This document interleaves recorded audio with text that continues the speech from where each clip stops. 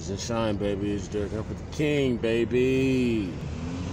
Time for stocks and bonds. Buying shares, baby. Gonna buy 100 trillion shares in CoreCivic Inc.